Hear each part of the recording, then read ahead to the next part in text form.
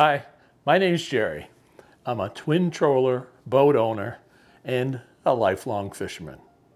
Some of you may know that I have replaced my normal lead acid battery on my boat with a lithium battery. And the one that I used was a Battle-Born lithium battery. And those are expensive and you need to change your battery charger that goes along with that, even more expense. However, I have no regrets. It works great, much better than a lead acid battery. Well, I got a hold of a, another twin troller boat owner. He clearly has a bunch of skills that I only wish I had. His name's Patrick. He's from Central New Jersey and he built from scratch his own lithium battery. I didn't even know that you could do that.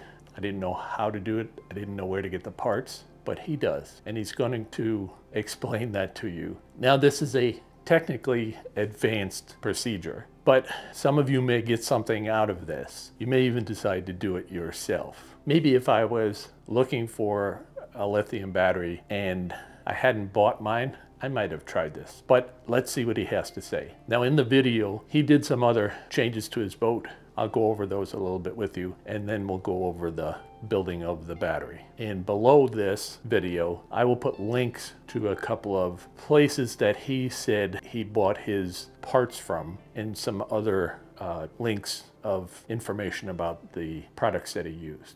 So let's learn something new today. Below this video, click on Show More to see links for many of the items used in most of my videos. They are there so that you can locate them in case you are interested.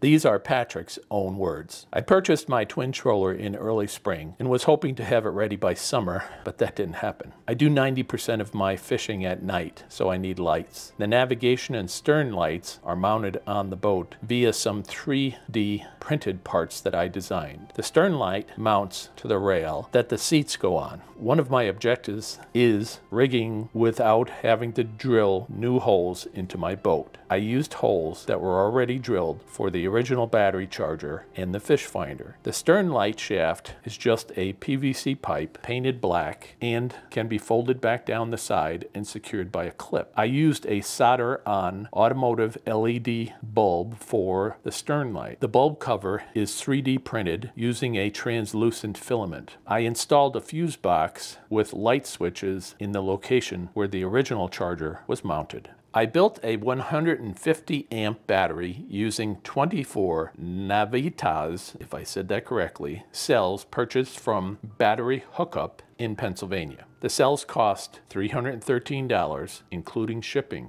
I wanted to pack as much wattage as possible into the battery box. These cells are just the right size. I decided not to install a BMS so I had to add charging leads for balanced charging. I used the iCharger S6 with a 24 volt DIY power supply for charging. I also installed a battery monitor that tells me exactly how much power is left on the battery when I'm in the water. Patrick, when you see this video, please answer below. I have a question about your battery monitor. It was my understanding that all we could do would be to test for voltage on the battery and that that isn't a very accurate way to predict the amount of power still left in the battery. But your battery monitor gives actual percentages of the charge in the battery. Could you explain that a little and explain where you got that and how it works?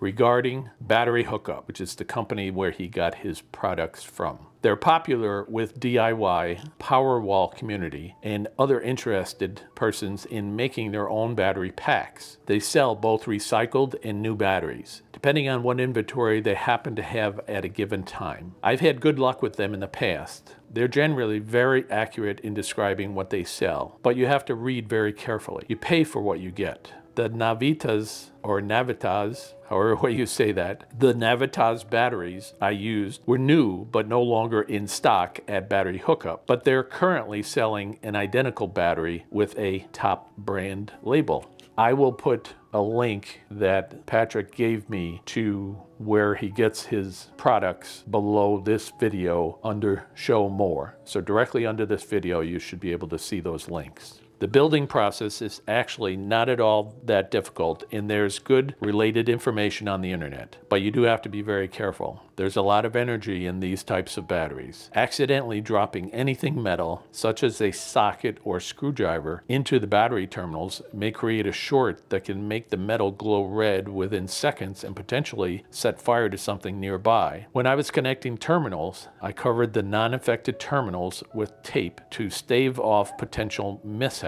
I covered all the terminals with Kapton tape. That's K-A-P-T-O-N. Kapton tape on the final build for that same reason. Having gotten that out of the way, let me try to summarize what I did. First, let me give you some general background information. There are many types of lithium batteries, with three being the most common. There are lithium ion, L-I-L-O, and examples of LiLo batteries are 18650 cells used in laptop computers. Lithium polymer, LiPo, and the examples of LiPo batteries are the pouch cells used in radio controlled vehicles like model airplanes or radio controlled cars. And there's also the lithium iron phosphate, also known as LiFePO 4, which is the most natural fit for building a 12 volt battery. That is the type of cells used in my DIY battery and in your Battleborn battery. LiFePO and LiLo cells have a nominal charge and maximum charge of 3.7 volts and 4.2 volts respectively. Given this, it's difficult to combine these types of cells in serial to get around 12 volts. Now, cereal is not the kind that you put milk on in the morning for breakfast. That's a method of connecting electrical circuits. LiFePO 4 cells have a nominal voltage of 3.2 volt and a maximum charge voltage of 3.6 volts. So combining four in serial, you get 12.8 volts nominal. Among the three, LiFePO 4 has the highest number of recharge cycles, thousands versus hundreds, and is also the safest chemistry. Unlike LiPo, there's very little risk of fire or explosion with LiFePO 4. The one disadvantage is the larger size and heavier weight, and for the twin troller, we want the LiFePO 4. Now, as a side note, my Battleborn battery weighs about 30 pounds. It replaced a lead acid battery, which actually had less capability in it, that was close to 70 pounds. So that's a considerable weight difference between the two batteries. I selected the cells I used based on size, capacity, discharge rate, and ease of building it. I wanted as few cells to connect as possible and as large capacity as possible. As long as everything fits into the battery box with room for either a BMS or battery monitor, and we'll talk more about the BMS and the battery monitor later. Next is capacity and discharge rate. You'll need the cell's spec sheet for this, which is on the screen right now. For reference, I've attached the spec sheet for the Navitas slash top band cells that I used. When connecting cells in serial, you add voltage. When connecting in parallel, you add capacity and discharge rate. Voltage remains unchanged. Each Navitas cell has the capacity of 25 amp hours. So to make a 25 amp hour 12 volt battery with a 1C discharge and 3C maximum discharge, and note, discharge rates are given in amps or C ratings. Amps is obvious, but C ratings create an unnecessary confusion in my opinion. You connect four cells in serial to make a 150 amp hour 3.2 volt battery that can discharge at 6C. For my battery, I made four groups of six cells connected in parallel and then connected the four parallel groups in serial, which gave me a 4S6P 150 amp hour, which is six times 25 amp hour, 6C battery with a nominal voltage of 12.8 volts or 4 times 3.2 volts. According to Freedom Electric, the twin troller motors require 30 amps each at full throttle. My battery can discharge at 6C, which is 150 amps, which is way more than adequate for the twin troller. I used a flattened one half inch copper pipe for both connections. You can also use wires or pre-made bus bars if you have a source for those. Just make sure that the serial connections are large enough gauge to handle the current. Current between parallel connection cells are comparatively much smaller. Next is battery monitoring. Two things that can degrade the useful life of lithium batteries are overcharging and over discharging. Note, charging in freezing weather also destroys lithium batteries, but that's probably not too relevant with the twin troller. Theoretically, I can recharge my battery with a dumb charger that outputs around 12.4 volts, which is 4 by 3.6 volts, but that will probably result in overcharging one or more of the cells because the cells may not be balanced initially. Here's an example for the 4S1P battery made from the Navitas cells. Suppose my four cells are 2.7 volt, 2.7 volt, 2.8 volt, and 2.6 volt before they're charged. And therefore, they're unbalanced because the four voltages are not the same. If I charge with a dumb charger that outputs around 14.4 volts, I'll just pump current into my battery and it won't stop until the battery voltage is around 14.4 volts. What can happen is that the 2.85 volt cell can actually exceed 3.6 volts while the battery voltage is still under 14.4 volts. The dumb charger will just continue to overcharge that particular cell in an attempt to reach a pack voltage of 14.4 volts.